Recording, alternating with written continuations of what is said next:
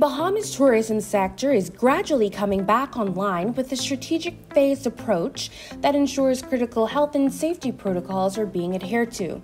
June 15, 2020 marks the official start of Phase 1, welcoming boaters, yachters, and private aviation. There are a few protocols in place to make certain that your arrival is seamless and your duration in the Bahamas is as safe as possible. Prior to arrival, travelers must complete and submit travel health forms to travel.gov.bs and have a negative COVID 19 swab test.